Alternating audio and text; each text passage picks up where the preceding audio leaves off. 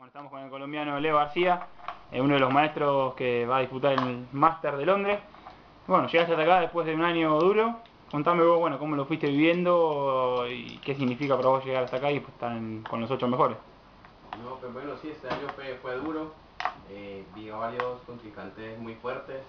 Ya, pues ya de los ocho que, que clasificaron de- al máster ya los conocemos todos y, y hay un muy, muy buen nivel y estoy muy contento por eso.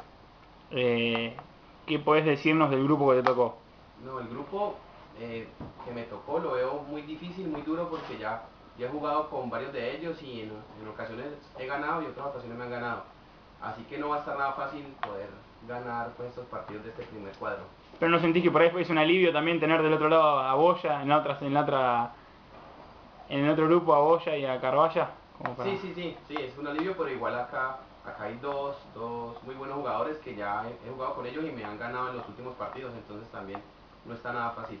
Bueno, y ahora, ¿qué objetivo te pones para el torneo este? ¿Con, con, con qué te vas mínimo hecho?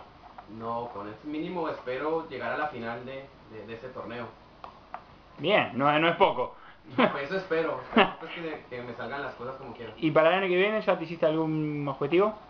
Eh, no, todavía no esperemos a ver mi, mi estadía en Argentina hasta, hasta qué fecha es, porque todavía no, no es seguro eh, si me regreso a Colombia o si sigo un año más acá. Tal vez perdamos un gran jugador entonces. no, no sé. Bueno, Leo, suerte y felicitaciones por estar entre los mejores. Muchas gracias.